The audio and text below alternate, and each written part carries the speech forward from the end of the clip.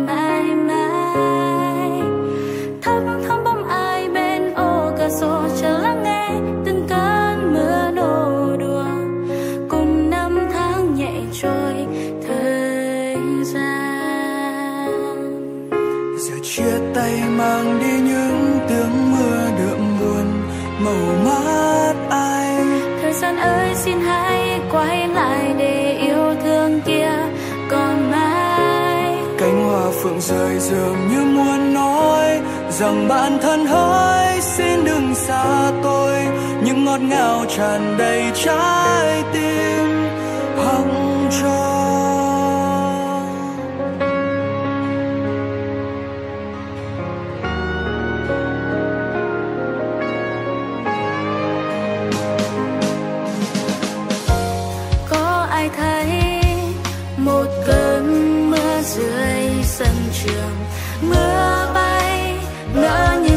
giây phút này là mãi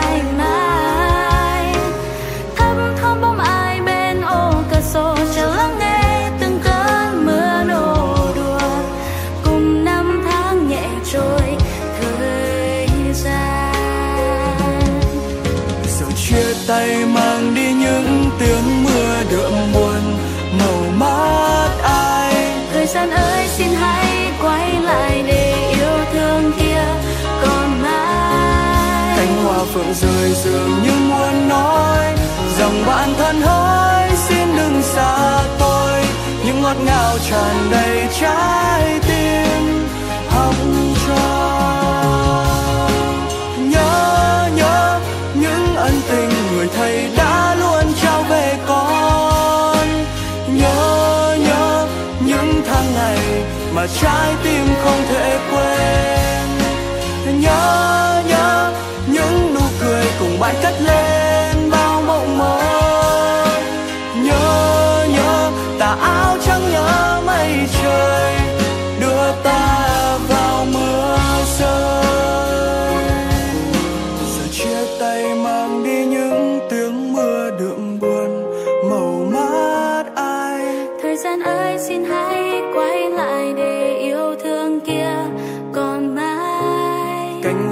Hoa rơi dường như muốn nói rằng bạn thân hỡi xin đừng xa tôi.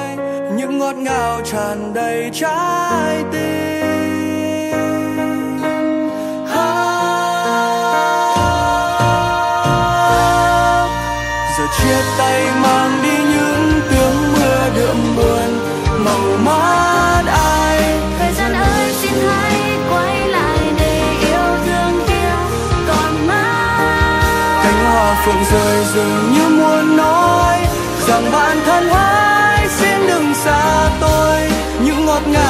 Tràn đầy trái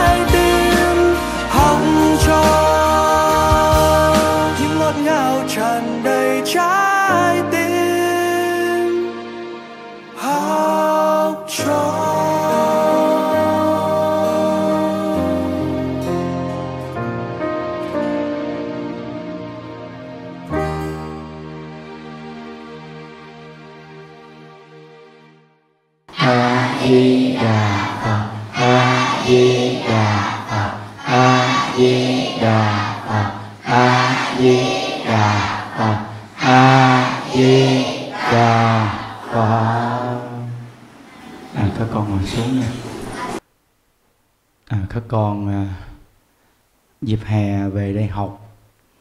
À, thấy à, mỗi buổi chiều chơi rất là vui. À, như à, chiều nay những đức thấy các con à, chơi trò chơi mà lấy lọ nồi chay vào mặt thấy giống mèo quá. Như cái chú nhỏ ngồi phía trước này cũng bị chét vào mặt te tua hết. À, đó cũng là cái kỷ niệm.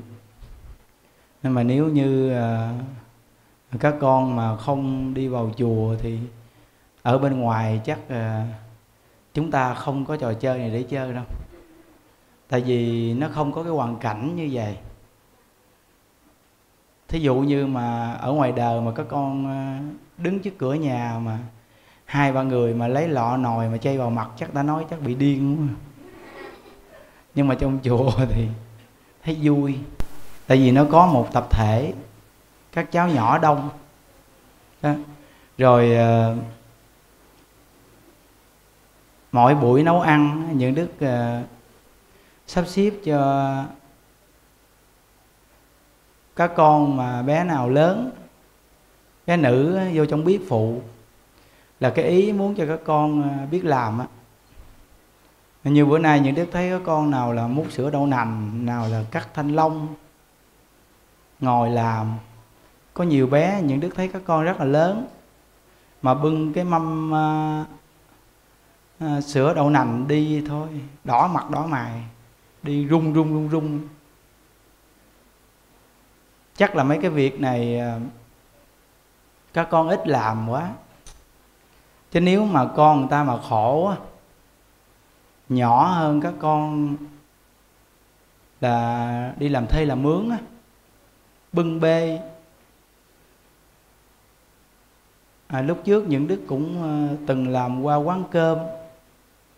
Thấy uh, các cháu nhỏ hơn một số các bé ở đây. Đi làm quán cơm á bưng cơm cũng đoạn đường xa lắm. Mà cơm dĩa chắc lên uh, cái bàn tay của mình khoảng cả năm dĩa là chắc từng lớp từng lớp lên. Rồi à, tay bên kia cũng à, gần năm dĩa. Giang cái tay ra rồi đi. Từ nơi đó mà mình thấy rằng là làm cái gì quen cái nấy. Còn các con nhà đi học nhiều, ít làm. Nên à, vô đây những đức tập cho làm à, thấy bưng cái mâm à, sữa đậu nành đâu chừng à, chắc khoảng 10 chén mà sữa đậu nành đâu có đầy đâu. Mà thấy bưng thôi gung gung gung gung gung gung gung à, xong rồi có cái cô kia đến cô nói thôi để cho cô bưng cho con. Những đức nói để cho bé bưng đi cô. Bưng mà đổ một cái những đức bắt quỳ tại chỗ luôn á. Sợ sợ cố gắng bưng. Nên từ nữa đó vị biết rằng là mỗi một cái tình thương á, nó phải nhìn cái đoạn đường dài. Thí dụ như có những tình thương mà thương hại, còn có những tình thương mà thương để giúp. Mà chúng ta là mỗi một con người nên hiểu biết cái thương nào là giúp và cái thương nào là hại. Vậy thì mình sẽ chọn cái tình thương nó lâu dài còn nếu mà mình chọn cái tình thương nhất thời để mà có cái khổ đau thì không nên chọn. À, thường là cái tình thương người thân mà nhiều người cha mẹ thương con đã đi vào cái chỗ thương hại. Sau này khi con của mình mà xa mình thì không làm được việc gì hết thì bị người ta gầy la chửi mắng hoặc là đi có chồng thì bị người ta mắng chửi thì lúc đó thì sống không được thì đó gọi là thương hại con gái mình. Nên mình có con gái mình nên tập cho con gái mình biết làm việc. Nên những đức đang chú trọng cho các con á ở trong đây á, mỗi ngày cũng được niệm phật. Nhưng những đức à, nghĩ rằng các con về nhà thì không có niệm phật nhiều. Nhưng mà với xã hội thì các con rất là cần biết làm việc nên những đức nói với các cô trong bếp những đức nói gì nè. Các cô cố gắng buổi sáng nào cũng phải gọi các cháu lớn á, tập cho các cháu làm. Mình làm cũng được thôi nhưng mà tập cho các cháu gọt trái cây rồi làm cái này làm cái kia. Rồi khi mình nấu chè hay mình nấu cái gì mình chỉ các cháu. Đứng nó sơ này nọ nó biết. Sau này nhờ ngay cái chỗ biết làm đó mà có cái lợi ích. Tại vì con gái lớn lên nhất định có chồng. Có bé nào ở đây mà muốn lớn lên không có chồng đưa tay coi? Làm bộ. Để tay thì nhiều quá. Ừ. sau này đi rồi tính. Nên á nhiều cháu á, nói rằng là con nghe thầy đức giảng con không muốn có chồng chút nào hết. Vậy đó mà sau này lớn lên chút nó đi về nhà, lúc đó quên mất tiêu và muốn có chồng. Lúc ở đây thì nghe giảng, bị sức ảnh hưởng trong đây nên thấy cái cảnh đời khổ quá. Nhưng mà bước ra ngoài đời thì thấy nó vui quá nên quên cái việc ở đây. Nên thường là chúng ta ưa bị trần cảnh lôi kéo là như vậy. Nên đi vô trong đây có rất là nhiều kỷ niệm mà được quay lại hết những đức nói với các chú là quay những đoạn các cháu làm việc, rồi à, các cháu niệm phật, các cháu lễ phật. Chơi ngoài sân đều quay lại hết. Để làm những cái kỷ niệm sau này các cháu coi lại thấy. Đó cũng là kỷ niệm đẹp. Mà đi vào trong đây, các con thấy rằng là quý thầy trong chùa mình cũng gần gũi. Rất là gần gũi và suy nghĩ động não để mà tính những trò chơi gì cho các con chơi cho vui á. Rất là mong ngày mai các con sẽ được vui nên bữa nay phải suy nghĩ. Chứ nếu mà chơi trò chơi cũ hoài thì tự nhiên sợ các con buồn, nên tính. Cuối cùng bữa nay chơi tới cái trò chơi mà lấy lọ chơi vào mặt, mà thấy một số cháu vui quá giờ vui. Rồi cái đoạn phim này mà đưa lên trên mạng chắc người ta coi chắc người ta cũng muốn đến chùa hộ pháp để chơi trò chơi này nha. Chú nhỏ phía trước này nè. Bà nội nói rằng là vô đây bữa nay ăn nhiều. Ăn được nhiều mà mà những đức thấy mặt mày nay sáng sủa. Cái bữa mới vô đây thấy ốm mà mặt nó buồn, ngồi, co rút. Bữa nay thấy mập rồi nè, bữa nay thấy đẹp trai rồi đó. Con á, phải cố gắng niệm phật và phải ngoan nữa. Rồi á, ăn cơm phải tự mình múc mình ăn. Mình cũng chai mà ăn cơm để cho người ta múc ăn là quê lắm, nghe không? Nghe không? Có tự múc cơm ăn đi. Ngày mai đồ đó, những đức mà thấy mà con mà không tự múc cơm ăn là quê lắm đó nha tự múc cơm ăn đi. Chú này cũng thông minh lắm nè. Lỗ tai dảo gương mặt sát ốm ốm nhỏ nhỏ gì chứ khôn. Gặp một cái là chắp tay ai di đà phật. Tưởng đâu ông già không? Ông già không có cái răng nào chứ nên từ đó, đó mà. Đây cũng là chủng tử. Và các cháu ở đây nha cái duyên các con nó dày lắm với Phật pháp lắm. Nên đi vào chùa mà các con ở được là cái duyên phước nó dày dữ lắm những đức đọc trong kinh giáo Phật dạy, cái người mà niệm Phật được là phước lớn dữ lắm. Nó không có đơn giản chút nào chứ. Và những đức thấy cái môn giáo học rất là hay là các con có học và phải có thực hành. Thí dụ như bên ngoài các con tối ngày cứ ôm quyển sách lo học.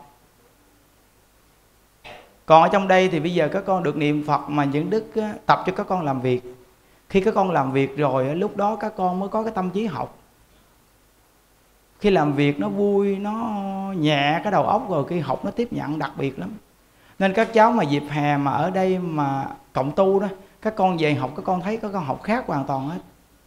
Cái đầu óc các con nó tiếp nhận được. Tại gương mặt nó sáng nè. Bé nào gương mặt cũng rất là sáng. Mà lúc mới vô đây thấy nó khù khờ, bèo nhèo lắm rồi các con đi vô đây, các con thấy mình thức cũng sớm. Chứ ở nhà có nhiều bé ngủ tới 6 bảy giờ cũng chừng. Mà các con biết rằng là ngủ nhiều nó không có hay ho chứ. Mà vì sao mà ngủ nhiều vậy? Vì buổi tối, thức khuya, sáng thì ngủ nướng. Mình mà chịu mà buổi tối mà mình ngủ đúng giờ đúng giấc, sáng mình thức, nó có giờ có giấc đàng hoàng người mà ngủ nướng, thức dậy nhịn mặt kỳ cục lắm. Các con thấy mà bé nào mà sáng mà ngủ cho tới giờ ăn cơm mà thức dậy đi rửa mặt á, đi giống như là người bị bại trận thua trận mà đi kỳ cục lắm. Mặt thì, mắt thì kỳ lắm. Ờ, ờ. Có nhiều bé gái đẹp lắm. Mà khi ngủ thức dậy, tóc xỏ ra đi thì phía sau cũng có tóc mà phía trước cũng có tóc. Chùm lại. Đi thì cái đầu gục gặt vậy nè. Nên mình nhìn vậy đâu mà thấy ghê quá à. thêm ngủ mới thức dậy nước miếng nó chảy hai bên mép nè. Nó khô lại, nó trắng tươi nhìn rồi giống như là các con biết ma cà rồng không? Ừ vậy đó. Rồi tóc thì nó xỏ xuống. Gặp bằng đi mà bận bộ đồ trắng cái nữa, đi cái nữa. tao ban đêm mà mình á, mình đi vệ sinh á, tự nhiên thấy bà bận nguyên bộ đồ trắng, xỏ tóc bà đi, mình á à, má! Còn nữa không? Nên nó từ đó đó mà khi ngủ thức dậy nó nó kỳ cục lắm, mà khi mà mình à, gỡ mặt mày chải tóc đồ, cuộn tóc đồ gọn ghẽ lại, nhìn nó sáng sủa. Nó nên á những đức thấy à, một số người khi người ta ngoài đời nó vô người ta hỏi mình những câu thấy cũng hay. Mà những đức chia sẻ cho các bé nữ. Thí dụ như à, khi những đức mà giảng bài nhiều người ta nghe, người ta khi gặp những đức ta hỏi, nó nói rằng, thầy ơi, nhà con à, có năm thành viên, cha mẹ và ba anh em à, một người anh và thêm người chị. Thứ ba và con là thứ tư trong nhà. À, anh chị em cũng lớn rồi. Nhưng mà khi con nghe thầy giảng bài thì con thấy rằng là ở trong nhà con nhiều khi à, mẹ con à, buổi tối khi mà chuẩn bị ngủ đó, thường bận đồ ngủ mà mỏng manh lắm thầy. Rồi à, chúng con là con gái, cũng bận đồ giống hệt mẹ, đồ ngủ cho nó mát mẻ, ngủ. Rồi ở chung một gia đình như vậy à, con xin hỏi thầy, nó có cái hại gì không thầy? Thì những đức nói có hại chứ. Vì con người là phàm phu, dù là cha con, nhưng nếu mình là con gái mà lớn lên thì các con không có nên bận đồ mà cái lúc mà chưa đi ngủ mà mình ở bên ngoài á, mà ngồi cùng với gia đình, cùng với cha, với mẹ mà mình bận đồ quá mỏng manh. Tại vì con người đều là phàm phu. Đã là người đàn ông là đàn ông à. Đã là người nữ là người nữ à. Không có nói là cha con hay chứ. Nó tự nhiên nó cũng khởi tâm, không phải nữa. Vì nó là phàm phu. Mà nó khởi tâm như vậy thôi thì nó đã mang tội rồi nhưng mà mình không biết khéo léo để mà chừng mực thì nó làm cho cái người đàn ông nó khởi tàu. Và cả mà người mẹ mà còn trẻ mà mình nghĩ rằng con của mình 16, 17 tuổi là con trai á mà mình là người mẹ mà mình bận đồ mỏng manh buổi tối mình ngủ đồ đó. con trai mình nó gặp nó cũng suy nghĩ không phải nữa. Tại vì cái tâm của con người phàm phu là nó như vậy đó. Đó đó là cái chỗ mà con người ta ở thế gian không hiểu nên người ta mới làm chỗ này thí dụ như cái giờ mà mình chưa đi ngủ đi, là mình phải bận đồ cho kín đáo. Có nhiều người phụ nữ người ta rất bày hày thí dụ như ở nhà đi buổi tối thì người ta không bận áo ngực, áo gì hết. Người ta bận áo mỏng manh, rộng. Rồi nhiều khi ngồi cùng với nhau thì bắt đầu thấy thịt da nó lòi lõm tùm lum hết. Nghĩ là người trong nhà. Nhưng mà mình không biết rằng dù là anh hay em, hay cha, hay mẹ, nó vẫn là có cái khởi tâm. Vì sao? Vì cái cõi này là cái cõi dục các con phải lắng nghe nghe không? Những câu đoạn này ít ai giảng lắm á. Nó quan trọng đó. Tại vì nhiều người người ta không hiểu. Người ta không có hiểu điều này nên nên người ta không có chú ý là tại sao xã hội bây giờ có nhiều cái thành phần mà bị hiếp dâm về cha mà hiếp dâm con mình. Là tại vì người ta không hiểu. Còn ngài chu quan sĩ ngài là bậc thánh, nên ngài dạy rất kỹ. Dù là anh em 5 tuổi đã không cho được ngồi chung chiếc chiếu rồi ngài chú quan sĩ ngài kỹ đến cái mức như vậy đó. Nó có một câu chuyện này nha gia đình này rất giàu ờ, làm việc rất lớn. Gia đình nó có hai người con, một người con trai người con gái thôi. Vậy đó, mà gia đình đi làm hết, hai anh em nó nhà coi phim. Hai anh em nó coi phim xong rồi hai anh em nó ăn ở nhau luôn. Xong người cha về cầm súng bắn chết hai đứa tại chỗ luôn. Rồi xong người cha cầm súng kê vào đầu ông ông bắn ông tự tử luôn thấy không? Có nghĩa là phim ảnh nó rất là nguy hiểm. Và khi cái tâm con người mình mà nó khởi dục vọng rồi, nó không có kiềm chế được, nó trở thành như là một loài cầm thú vậy đó. Nên con người mà có thể kìm được dục vọng là nó phải có một cái đạo đức và tu hành dữ lắm.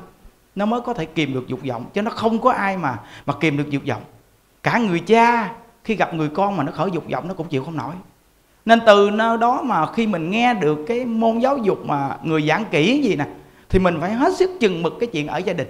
Mà nhất là các bé gái này lớn lên các con nghe những đức giảng gì đó các con sẽ biết sống đúng đắn. Nó, chứ xã hội thì bây giờ nó nhiều quá cả mẹ mình bà cũng không hiểu. Thì giờ mình học giống bà bây giờ mình nghe thầy giảng rồi tự nhiên mình hiểu. Mình hiểu rồi tự nhiên mình sẽ làm sao cho nó đúng. Thấy không? Còn thí dụ như thời tiết nó nóng đi, mình đi vô phòng mình mình ngủ rồi mình đóng cửa lại rồi thí dụ như mình bận một bộ đồ nó kín đáo mà nó nó rộng rãi, một bộ đồ nó ngủ, nó thấy mát mẻ, nó ngủ vậy ngủ cũng được đi. Còn nếu cái lúc mà ngồi ở bên ngoài mà ăn cơm cùng với gia đình đều, tuyệt đối mình phải ăn đồ cho kỹ lưỡng, đàng hoàng. Đó là cái tâm mà đàng hoàng nó sẽ sanh phước và nó giữ được cái vẻ đẹp lâu dài. Nên những đức nói rằng những con người mà nữ mà mà bận đồ mỏng manh, đồ này kia, đồ mà khiêu gợi lòng người, con người này sẽ mau xấu lắm. Tại vì nó hao tổn cái phước tướng của mình, nên nó rất là mau xấu. Nên hòa thượng tịnh không người nói một câu rằng là người nữ bận đồ mỏng manh là tương lai đọa địa ngục. Đọa địa ngục, vì sao biết không? Bây giờ các con suy nghĩ này các con đi một vòng ngoài đường là các con chồng vào tâm người ta là cái tâm dục vọng. Mà tâm dục vọng là cái tâm xấu, cái tâm ác. Mà cái tâm này là cái tâm đọa địa ngục vậy thì bây giờ chúng ta trồng vào tâm người ta, những cái tâm đọa địa ngục. Vì thì chính mình là gieo cái nhăn để người ta đọa địa ngục. Vì là mình tổn phước chứ làm sao? Nên hòa thượng tịnh không nói rằng là người nữ bằng đồ mỏng manh bằng áo dây bằng đồ mà khiêu gợi lòng người, như vậy thì tương lai đọa địa ngục. Thí dụ như giờ những đức dạy các con là giáo dục thì những đức có công đức có phước báo. Còn nếu bây giờ những đức dạy các con về dục vọng thì nhất định những đức có tội lỗi. Mà các con không dạy người mà các con chỉ cần đem cái hình tướng mình để đi một vòng ngoài đường thôi là, đó là chồng vào tâm người ta những cái điều xấu xa. Như vậy thì tương lai các con đỏ lạc và hết phước. Đó. Bây giờ các con hỏi tất cả những người mà bận đồ khiêu gợi lòng người đi, toàn là những người đó là những người dục vọng mãnh liệt, mới bận đồ như vậy. Còn những người mà đàng hoàng, tuyệt đối người ta sẽ bận đồ đàng hoàng. Đó. Nên các con là người nghe giáo dục, các con phải nghe cho chuẩn, phải hiểu. Hiểu rồi mình sẽ làm đúng đắn. Đó, nhất là những cái việc mà giữa người thân những đức vừa mới kể đó những cái việc đó các con nên chú ý. Thí dụ như giờ các con 16, 17 tuổi đi cha mình chở xe mình đi ngoài đường đi các con cũng phải hết sức là chừng mực. Tại vì các con là tới tuổi trưởng thành chứ không phải là còn con nít nữa. Chứ không phải là cha mình chở mình rồi mình leo lên xe mình ôm cha mình trong khi mình lớn mình quên mất tiêu. Nhưng mà cái tâm con người á giữa nam và nữ là nó sẽ có cái khởi tâm không đúng nó vừa khởi tâm không đúng là nó tạo nghiệp liền. Các con phải nhớ nghe cái này là chu quan sĩ là bậc thánh dạy đó. Những đức đọc qua sách chu quan sĩ á. Đó nên á hướng cái này là quá kỹ. Cho các con biết biết thân phận mình là người nữ. Có nhiều bé các con á 12, 13 tuổi các con quên rằng là các con đang tuổi trưởng thành nữa. Quên mất tiêu Tưởng đó mình là còn Lúc còn nhỏ xíu. Mình quên mình lớn rồi. Nên con người càng trưởng thành phải nghe giáo dục Để con người nó chừng mực Nó tề chỉnh cái tâm lại. Chứ nếu không là nó tùy tiện Và nó quên mình là thân phận người nữ. Nên người xưa nói rằng là giáo dục người nữ rất quan trọng. Nên nó đi vào trong đây những đức chỉ các con á, làm việc nấu ăn này kia đều dạy cho các con nhiều thứ. Tại vì sao? Vì tương lai các con phải làm cái này đó. Phải trưởng thành mới được nó vào trong chùa có được tu nè, có được vui chơi nè, có được làm việc nè. Mà các con thấy làm việc cũng rất là vui nha. Tại vì nó có số lượng người đông làm việc. Vui các con ở đây lâu gì chứ. Gặp buồn rồi chắc ba ngày chảy mắt dép. Chứ sao mà ở đây? Đó. Nên những đức nói rằng là các cháu nằm ở đây là các cháu phải rèn luyện mình. Các con có cơ hội được rèn luyện đó. Chứ nếu những đứa không sắp xếp ai mà rèn luyện các con? À, từ nơi đó phải kiên trì. Những đức thấy rằng có những gia đình đến gặp những đức có gia đình này rất giàu giàu lắm. Gia đình chỉ có hai người con trai thôi à. Nhà giàu quá à. con trai là hình như là đi học à, nước ngoài nhiều nước lắm. Bây giờ anh chàng này à, hình như cũng 30 tuổi rồi đó. Vậy mà anh chàng bây giờ đang thất nghiệp. Đi du học nước ngoài quá trời luôn mà bây giờ đang thất nghiệp. Những đức hỏi gia đình là lý do gì sao anh chàng này học nhiều như vậy mà thất nghiệp. Thì người cha, người mẹ nói rằng là con của con nó không có chịu làm lương ít. Nó vô công ty là nó muốn làm lương cao nhất không à.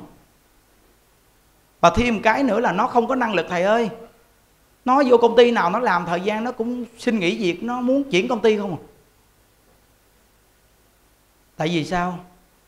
Nó là cậu ấm quen rồi. Nó ỷ, nó có tiền. Và cái sở học của nó là đi du học được nhiều nước nhưng nó không học được cái giáo dục làm người. Nó không có học được cái tâm khiêm tốn. Và nó không có học được biết người biết ta, chăm chặn, chăm thắng không biết học cái chỗ này. Mà chỉ có cái văn tự để mà nhồi nhét cho nhiều vào thôi. Nghĩ rằng là nhồi nhét nhiều cái văn tự vào trong não mình thì hay. Nhưng mà không ngờ rằng là tất cả những cái văn tự đó không có giải quyết vấn đề khi mà mình gặp việc. Chỉ có cái bằng cấp đi xin việc làm, nhưng khi vào trong công ty thì làm không ra gì cũng bị đào thải. Và đứng vị trí lúc nào cũng là đứng kém. Và khi đi xin việc làm thì đòi hỏi lương bổng. Các con phải nhớ rằng con người chúng ta khi vừa khởi công làm việc là phải bắt đầu thấp nhất. Mình phải chịu khó, chịu cực để người ta cảm giác cái năng lực của mình như thế nào, lúc đó người ta mới tiến cử mình. Chứ nếu như các con nghĩ rằng các con học nhiều năm như vậy, bây giờ bằng cấp cao như vậy, đi làm mà giá lương kém như vậy vậy thì mình không làm, như vậy thì các con sẽ trở thành anh chàng thất nghiệp như những đức vừa mới nói đi du học rất nhiều nước, nhưng cuối cùng bây giờ lại là một anh chàng thất nghiệp. Đây là một gia đình. Còn một gia đình thì gia đình rất giàu, cho con đi học rất nhiều nước. Vậy mà bây giờ anh chàng này đang cai nghiện trong trường Sike Mati. Tại sao kỳ cục như vậy? Không có gì kỳ cục hết. Họ chỉ có đi học và gia đình này giàu vô cùng, muốn cho cảm giác rằng là con mình không thua ai có nhiều gia đình giàu bây giờ họ cũng không hiểu, họ nghĩ rằng là nhà mình giàu như vậy, con mình phải là đi học những trường cao cấp nhất. Cảm thấy rằng như vậy cũng là xứng đáng với cái gia đình của mình. Nhưng họ không nghĩ rằng tất cả những cái trường cao cấp nhất cũng chưa chắc rèn luyện ra một người con đặc biệt đâu. Nhưng mà cái chỗ mà rèn ra một con người mà tương lai và thành tựu là con người phải tiếp nhận giáo dục làm người tại vì con người mà nó không tiếp nhận giáo dục làm người vậy thì con người này học thức có nhiều đi chăng nữa cũng bằng không. Không có được cái gì chứ á. Thí dụ như bây giờ các con được cha mẹ cho đi học, tiền của cha mẹ lo cho mình rất cực. Thí dụ như giờ các con bưng mấy cái chén sữa thôi mà đi gung tay, mặt đỏ hết, những đức nói rằng, bưng. Đổ một cái là quỳ xuống đất. Thì các con sợ quá, cố gắng bưng. Vậy bây giờ các con quay ngược lại, mẹ cha mình kiếm tiền cũng có lúc rất là vất vả ý là trong công việc làm để cho thấy ra được cái thật chất của cái đạo làm người là như vậy. Nếu trong công việc làm mà các con không chú ý, quay ngược lại là cha mẹ mình kiếm tiền khó khăn. Vậy thì các con cái sở học của con nó kém lắm. Thí dụ như các con đi vào đây, các con đứng, các con chiên sườn chay chiên một chút rồi áo quần nó ướt nhem hết. Trong lửa, nó ướt như vậy đó. Vậy bây giờ bao nhiêu con người người ta đang làm cực khổ như vậy, như các con thấy một số người người ta ở ngoài lề đường mà người ta bán hủ tiếu gõ, rồi thêm người ta bán mì xào.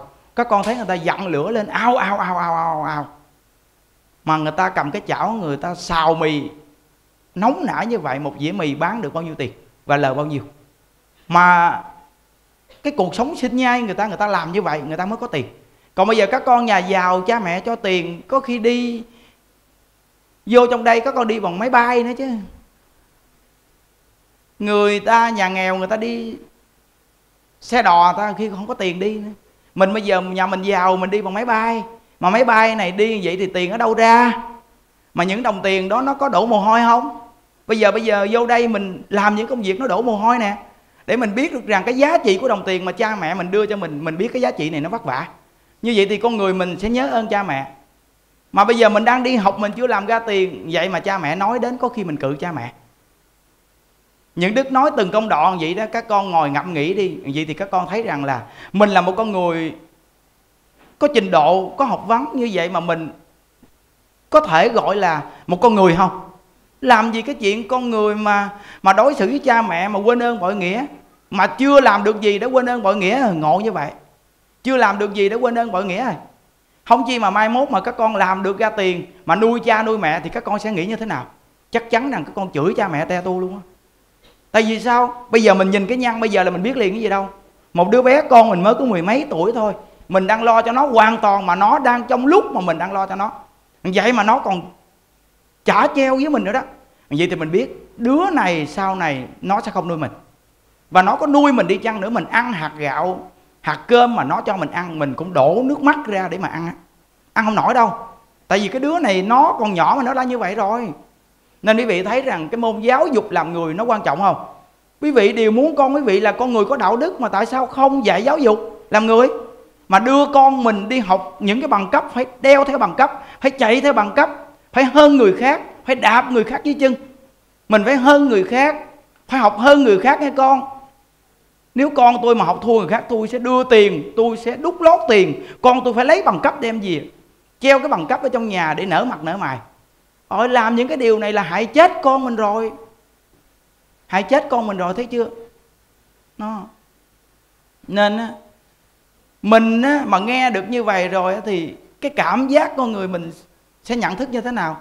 Trời những bài học này rất là quan trọng. Người làm cha làm mẹ Không muốn cái khổ gì sau cuộc đời mình Thì phải dạy con mình như vậy nè. Tại vì tương lai mình làm cha làm mẹ Mình muốn con mình phụng dưỡng mình mà. Nếu mình không dạy con mình làm người Sao con mình phụng dưỡng mình? Nên nhiều người làm cha làm mẹ bây giờ cứ là nước đến chân rồi chạy không à. Của mười mấy, hai chục năm về trước thì đố mà để ý đến cái chuyện dạy con á. Rồi mười mấy, hai chục năm sau nó nó chở mặt với mình, nó quay 180 độ lại nói, tại sao mày chở mặt với tao? Nói, tại vì ông bà không dạy tôi mà. Có, tao cho mày đi học mà. Ông bà chỉ cho tôi học bằng cấp thôi. Tôi chỉ lấy bằng cấp này để là kiếm tiền, một là tôi hơn thiên hạ, hoặc là ai mà học ít hơn tôi thì tôi chửi mắng họ họ ngu quá học không bằng tôi. Mày coi tao bằng cấp nào mày biết không? Tao đi học nước ngoài này mày. Nhà mày cỡ nào mà mày dám đụng tới tao hả? Mày đụng tới tao là chết đó nghe mày. Thấy chưa? Như vậy thì cái hành vi này là hành vi gì? Cái hành vi này là cái hành vi của tương lai. Sẽ là đổ nát gia đình, không có một gia đình hạnh phúc. Nên một con người thà học ít nhưng mà nghe giáo dục làm người, tương lai làm người được thì con người này có một gia đình hạnh phúc còn các con có bằng cấp nhiều, chưa chắc các con có một gia đình hạnh phúc. Những đức nói bảo đảm. Người làm cha làm mẹ bây giờ phần nhiều đều đẩy con mình vào bằng cấp. Quý vị coi, bao nhiêu con người đang cai nghiện trong xì ke. Đi vô đó tìm hiểu coi phải là dốt nát hay là có học văn. Phần nhiều là cai nghiện xì ke là nhà giàu. Chứ nhà nghèo làm sao mà mua xì ke được mà chích, mua hàng đá được mà chơi. Phần nhiều là nhà giàu tương đối, phần nhiều còn một số ít là nhà nghèo cũng là lo làm ăn, kiếm tiền để chơi cái thứ đó hoặc là đi ăn chợ ăn cướp thấy không? Quy gom về con người tại sao hư như vậy? Vì giáo dục con người hơi kém. Mà con người từ khi còn nhỏ là thiện, nhưng vì sao lớn lên lại hư? Vì do chúng ta là người lớn, không chú trọng giáo dục các cháu. Bây giờ các con nghe được như vậy nè, những cái môn giáo dục này rất quan trọng nè. Rất là quan trọng đó. Đó biết rằng xã hội bây giờ là trong cái xã hội đang cần học vấn, nhưng mà mình không có thiếu nền giáo dục làm người. Cái nền giáo dục làm người nó còn hơn là học vấn đó nữa. Thì giờ các con thấy những đức học lớp 3 hay sao? Những đức cũng làm bao nhiêu việc mà cũng bao nhiêu con người đến tìm những đức cũng đâu phải là toàn bộ những người dốt đến tìm những đức đâu. Có những ông giám đốc cũng đến đây chứ bộ. Ông đang bị bế tắc mà. Đó những đức gặp nhiều ông giám đốc bị bế tắc. Những đức hỏi ông ông thiếu tiền hả? Dạ không. Ông thiếu vợ hả? Dạ không. Chứ thiếu gì? Thiếu tình. Tình gì? Tình cảm gia đình. Không có. Nói, tại vì ông không có gầy dựng tình cảm gia đình. Nếu ông gầy dựng dựng tình cảm gia đình là nhân thì sẽ có cái quả là có tình cảm gia đình. Còn ông chạy theo tiền bạc vật chất cuối cùng, ông có tiền nhưng khô khan, cằn cội, như cái cây khô sắp chết. Vì cái cây này nó không có tươi tốt con người mà không có tình cảm thì giống như cây khô sắp chết vậy đó. Nên chúng ta thà ít tiền nhưng có tình cảm con người, các con đi vào đây có tiền đâu mà tại sao vui? Vì sao trong đây dùng tình cảm con người đến với nhau? Các con vô đây có ai lấy tiền các con không? Từ khi các con vô đây tới giờ các con có xài cắt nào không? Vậy mà cũng lên ký nữa. Còn ở ngoài xài tiền mà không lên ký. Vậy bây giờ đặt lên câu hỏi đi, vì sao không xài tiền mà lên ký, còn xài tiền mà không lên ký? Xài tiền qua những chiều hướng xài không đúng đắn. Chơi game hoặc là mua sắm, rồi đi ra đường thì lớn lớn chút, bắt đầu lại nhìn mẫu đồ nào mà nó ờ, mới ra. Có tiền thì mua liền, còn không có tiền thì chảy nước miếng. Đây là cái chỗ hao năng lượng nên ốm o gầy mòn nè còn bây giờ vô đây các con thấy không bình dân vô cùng bằng đồ đơn giản thôi. Vậy mà nó đẹp nó đẹp từ cái tâm các con phát ra nên bé nào nhìn cũng hồn nhiên và tự nhiên rất đẹp. Con người tự nhiên là đẹp nhất đó các con. Con người tự nhiên là đẹp nhất, các con phải nhớ nghe chưa? Chứ con người mà không tự nhiên gớm lắm. Con người mà không tự nhiên rất là gớm, con người tự nhiên nó mới đẹp. À. các con bây giờ hiện tại bé nhỏ, bé lớn nào cũng tự nhiên vô cùng luôn. Nó không có một chút nào giả chứ nha vậy mà các con bước ra ngoài đời có nó có giả dính nhau liền ha thấy chưa? Nó có giả thì nó có rùi. Hiểu không? Còn bây giờ nó không có giả thì không có rùi đậu. Bây giờ các con mà chét lên nó giả nhiều thiệt nhiều thì rùi. Rùi là con rùi trước mắt mình nhỏ nhỏ, không đáng sợ. Còn con rùi ghê gớm nhất là con rùi hai chân á.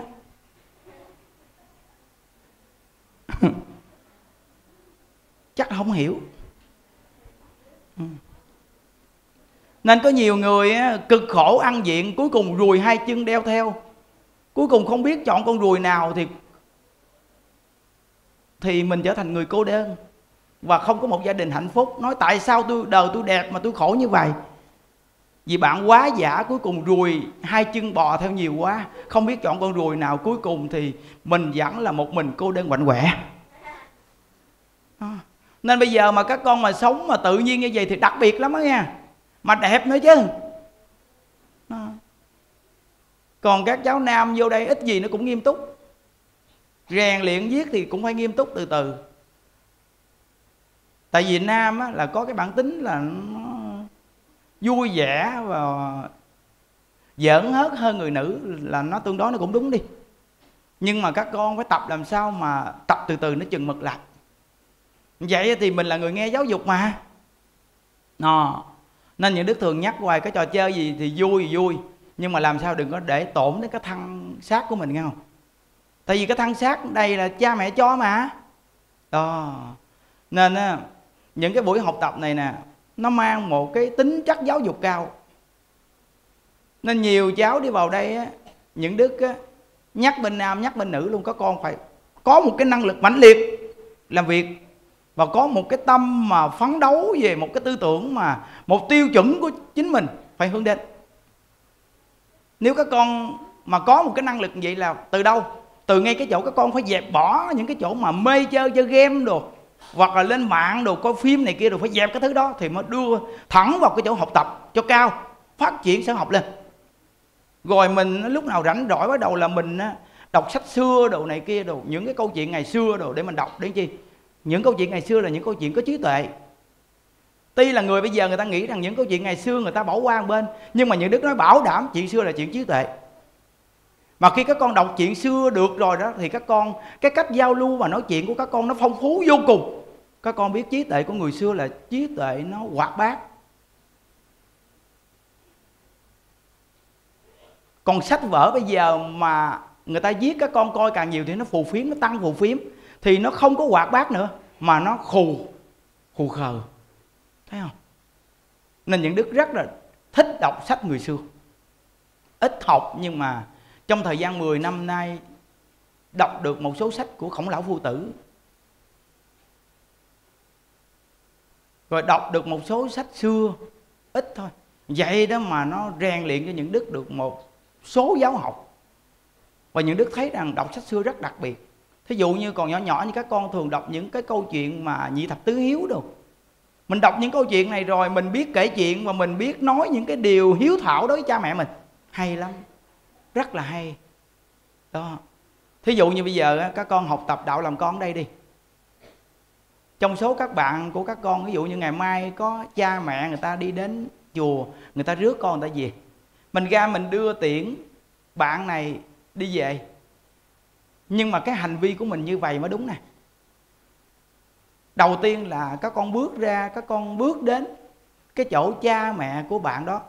Các con, mỗi bạn đều khoanh tay, cúi đầu, chào cha mẹ của bạn đó. Trước nhất là đưa vào tư tưởng cho người ta thấy rằng các con á, là con người có đạo đức giáo dục.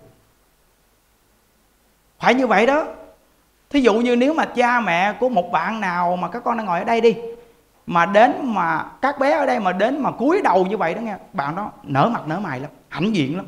Hãnh diện vì mình có một nhóm bạn thiệt là có đạo đức. Bây giờ các con chỉ có biết là chia tay bạn kia thôi, nhưng mà quên đứt đi cha mẹ người ta. Mà các con biết rằng là bạn này ở đâu có ra? Cha mẹ sinh ra mà các con chỉ có nhìn người bạn này mà quên cha mẹ như vậy thì uống nước mà không nhớ nguồn, ăn trái mà không nhớ kẻ trồng cây. Thấy không? Cái nền giáo dục của người xưa các con thấy đặc sắc chưa? Đó. Chúng ta quên đức chỗ này luôn á.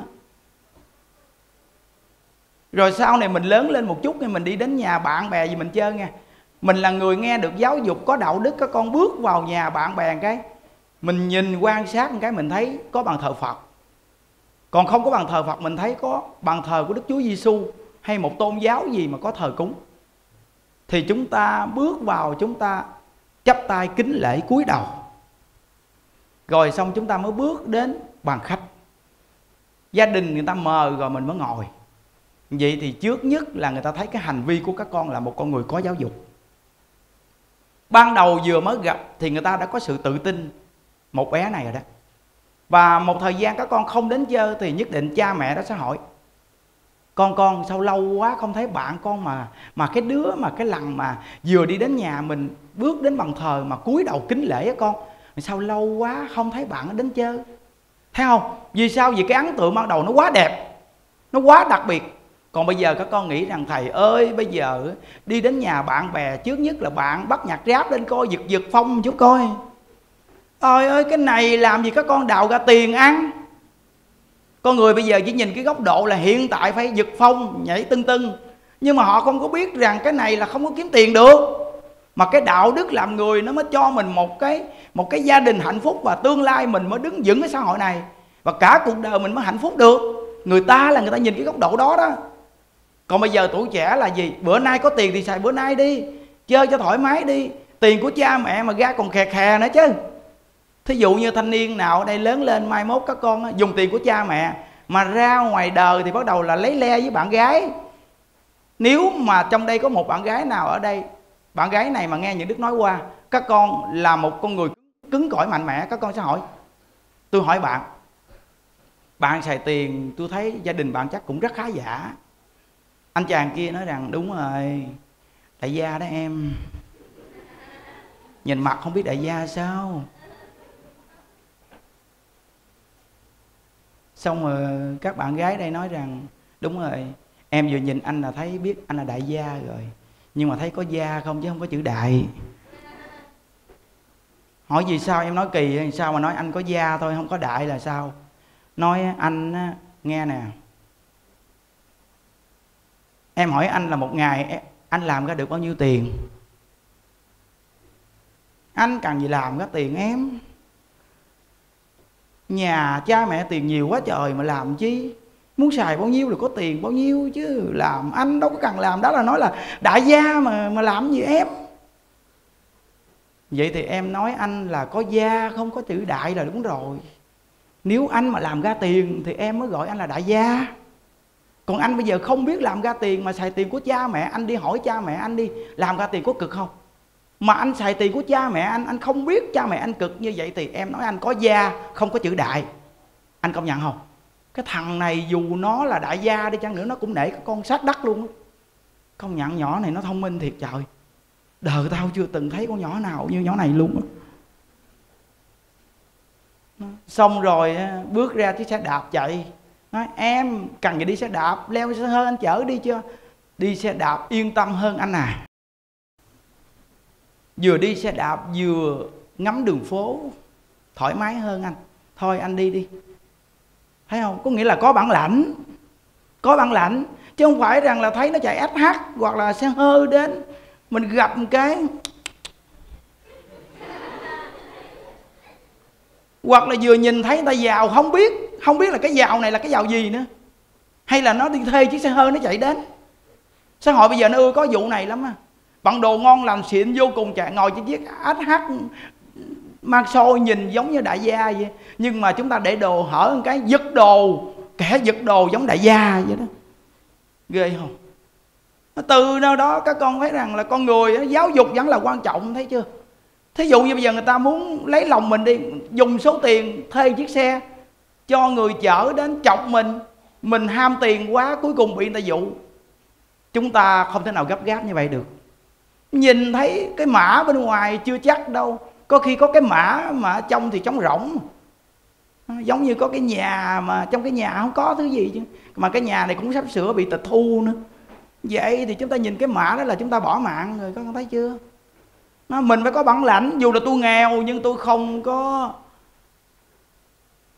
nịnh hót anh đâu, hay là em đâu. Tôi sống dưới cái cách sống của tôi à được không? Chúng ta nếu có duyên làm bạn chơi chung nhau. Nhưng mà tôi nói cho anh biết rằng là không bao giờ có cái chuyện mà tiền bạc mà lạng hoạn ỷ vào mà hiếp tôi đâu nghe các con mà như vậy là các con có bản lãnh nghe chưa? Những đức dạy các con là dạy cái bản lãnh làm người á. Chứ không phải rằng là mình nghèo mình đi nương vào người giàu mình định hót người ta. Rồi người ta nói mình này kia người ta coi thường mình không? Tôi không sống như vậy. Thà tôi sống nghèo mà tôi sống có tư tưởng.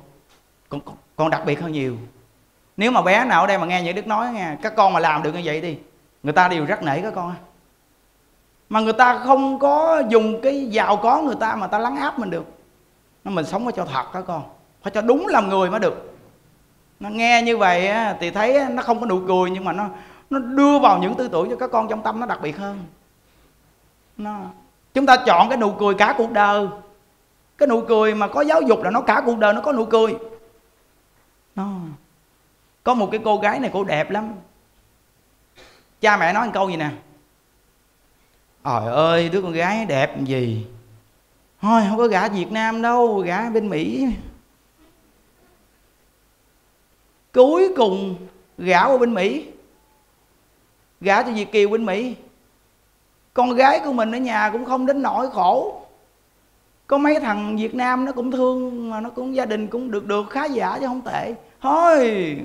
Gái đẹp gì, gã nước ngoài, gã việt kiều tiền đô đồ sai. Cuối cùng đứa gái ra ngoài nước ngoài làm gì? Làm neo. Biết làm neo không?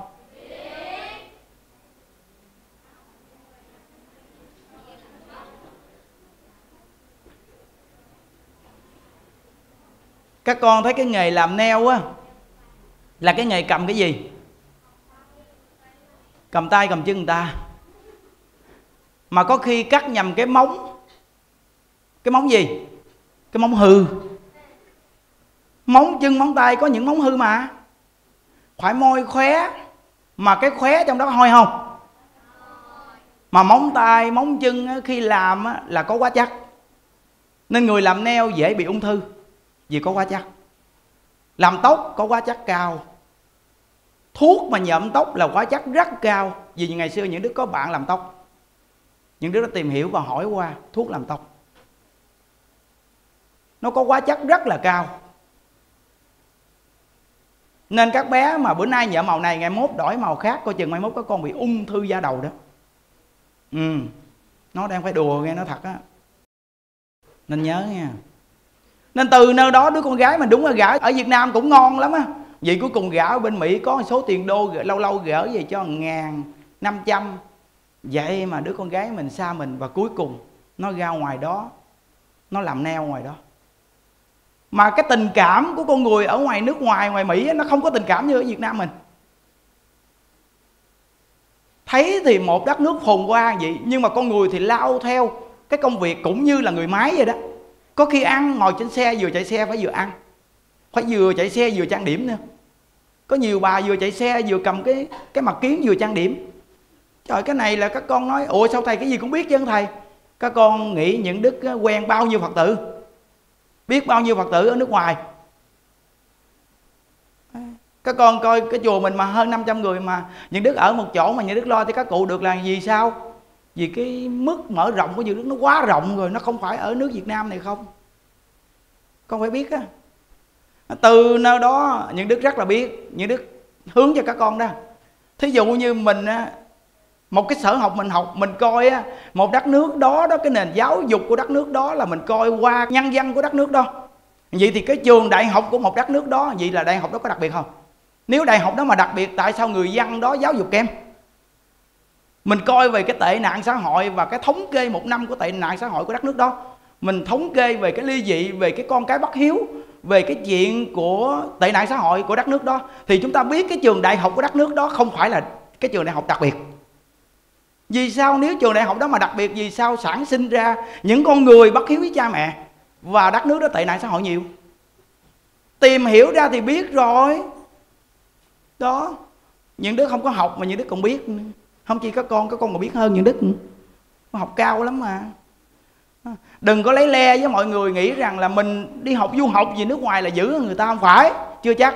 Các con đi học du học cũng tốt nhưng các con phải học giáo dục làm người đi đâu đi chăng nữa cũng không có mất gốc. Vậy thì các con mới là người đặc biệt.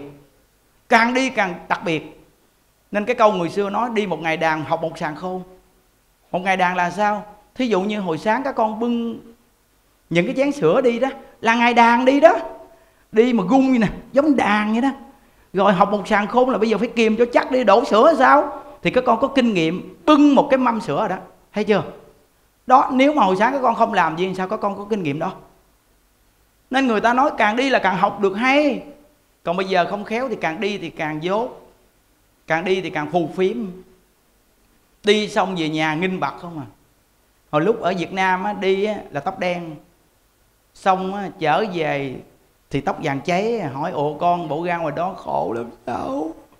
Phơi nắng như lắm sao con mà tóc đỏ vậy? Không? nghĩa là nó thay đổi cái phẩm chất của mình trong khi mình đi học nhiều năm gì mình về mà nó thay đổi phẩm chất hoàn toàn của một con người việt nam. Thất bại thấy chưa? Đó, những đứa nói gì này để cho nhiều cháu mà sau này đi du học, các con đừng có bị mất gốc nghe chưa? Đó. đừng có bị mất gốc. Nó vô đây nghe như vậy rồi á, các con cũng nắm được một phần nào giáo dục. Ở đây những đức thấy có nhiều cháu lớn lắm á. Buổi nói chuyện của những đức để lên mạng còn nhiều người nghe nữa bé nào ở đây mà ngồi mà nghe được thì các con có tương lai. Thí dụ như trong đây một bé nhà thiệt nghèo không có được đi du học gì hết á. Học mới có lớp 7, lớp 8 nghỉ học rồi. Vậy mà các con bé nào ở đây mà nghe những đức nói chuyện mà tiếp nhận. Bé này rất nghiêm túc đàng hoàng không có tùy tiện quen bạn trai gì hết á. Sống rất là nghiêm túc đàng hoàng luôn. Vì chắc chắn là bé này tương lai hạnh phúc. Hạnh phúc. Ngộ lắm gia đình đàng hoàng người ta đang để ý những con người vậy đó đang để ý những người vậy đó. Đó. Nên nó phải tập cho các cháu này. Các cháu này đây là phải rèn luyện năng lực mới được. Tuổi trẻ này giờ yếu ớt lắm. Tay chân cầm viết không à. Vô đây phải cho cầm sạn mới được. Tôi gãy móng tay hết. Nó rèn luyện vậy mới phát huy được năng lực đó không? Nên về rồi bắt đầu ôm mẹ ôm cha liền. Thương cha mẹ quá. Ở nhà con xuống quá vô đó thầy bắt làm việc quá trời luôn thêm cái nữa ngày tu ba thờ lễ phật chay đầu gối à. Nó nên vô đeo lễ phật chừng 3 tháng đầu gối này nó chay nổi lên cục. Xong về không dám bận quần đùi. Nó nên cái hôm có bé đó nó nói rằng là thầy ơi con nhà con sợ nhất là con bị mập đó thầy. Vì mà con vô đây bữa nay nhót lại thầy ơi. Mừng ghê luôn. Còn bé kia nó nói thầy ơi, con rất sợ bị ốm thầy ơi vì mà bây giờ con vô đây con mập lên hả thầy? Đúng là cái chùa này hay thiệt. Mập quá, vô đây thì ốm, còn ốm quá, vô đây thì mập. Các câu thấy không? Cái này là cái đặc biệt đó nghe. Nó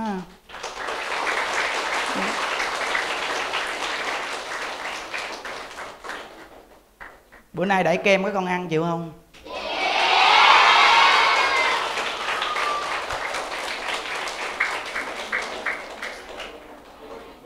Nói 45 phút muốn ờ, khô cổ luôn ngồi làm vậy nè? Đại kem chịu không? Chịu! Ghê thiệt. À, à. nhớ nghe buổi nói chuyện này quan trọng lắm nghe con. Có nhiều câu rất là quan trọng á. À thôi à, bữa nay chúng ta học đến đây nha. À, Ai về đọc vào.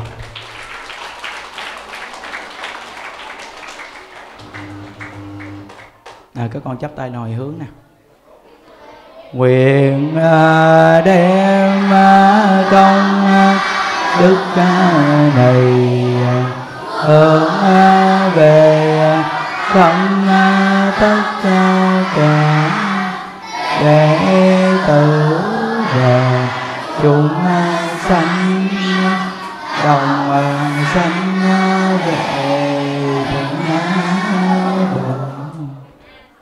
a di đà phật a di đà phật a di đà phật nam mô tây phương cực lạc thế giới đại từ đại bi. A di đà phật liên tọa tác đại chứng minh. À, hôm nay học tập đạo làm con các giáo được niệm phật và nghe thời gian gần một tiếng đồng hồ và giờ này phóng sanh. À, toàn thể à, đại chúng nguyện đem công đức này nguyện cầu an trên là đại lão hòa thượng viện chủ tổ đình hộ pháp. Nguyện cho ngài luôn luôn có sức khỏe và nguyện đem công đức này nguyện cầu an cho cha mẹ các cháu và các cháu luôn luôn sức khỏe, gia đình hạnh phúc và phát tâm niệm phật cầu sanh cực lạc và nguyện đem công đức này nguyện cầu siêu cho cụ quyền thất tổ ông bà, cha mẹ nhiều đời nhiều kiếp và tất cả những thai nhi vì nghiệp phá thai đều hưởng những công đức này mà phát tâm niệm phật để cầu sanh về thế giới cực lạc. Nam mô chứng minh sư bồ tát ma ha tát. À, các con chim này nó cũng tạo nghiệp đó các con. Nên à, bây giờ mới mang cái thân làm súc sanh khổ như vậy. À, các con hỏi rằng là những con chim này tạo nghiệp gì thầy? Nó đã từng bắt hiếu với cha mẹ nó và nó đã từng à, không kính trọng thầy cô giáo và bất hòa đối với anh em và không biết thương người và hẹp hòi ích kỷ, tham lam, chỉ biết mình mà không biết người khác. Nó đã từng làm người và mang cái nhân đó, bây giờ chịu cảm cái quả là làm loài súc sanh như vậy. Nên mỗi một cháu ở đây, các con phải hiếu thảo với cha mẹ các con, phải kính trọng thầy cô giáo và phải hòa thuận đối với anh em.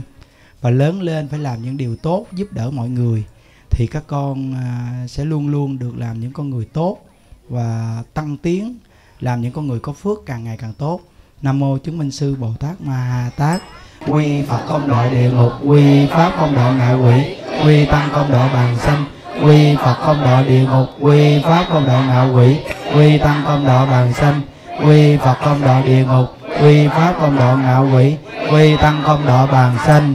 À, hôm nay những à, chú chim này được quy phật quy pháp quy tăng rồi được nhân viên này rất thù thắng nên phát tâm ở trong chùa điện phật để cầu sanh về thế giới tây phương cực lạc chúng ta đồng niệm phật lớn lên vỗ tay với thả chim nè a di đà phật a di đà phật a di đà phật a di đà phật a di đà phật a di đà phật a di đà phật a di đà phật a di đà phật a di đà phật a di đà phật a di đà phật a di đà phật a di đà phật a di đà phật a di đà phật a di đà phật a di đà phật a di đà phật a di đà phật a di đà phật a di đà phật a di đà phật a di đà phật a di đà phật a di đà phật a di đà phật a di đà phật a di đà phật a di đà phật a di đà phật a di đà phật a di đà phật di đà phật a di đà phật a di đà phật nguyện đem công đức này ơn về tâm tất cả đệ tử và chúng sanh, đồng sanh về tịnh độ. A di đà phật. A di đà phật. A di đà phật. A di đà phật a di đà phật. A di đà phật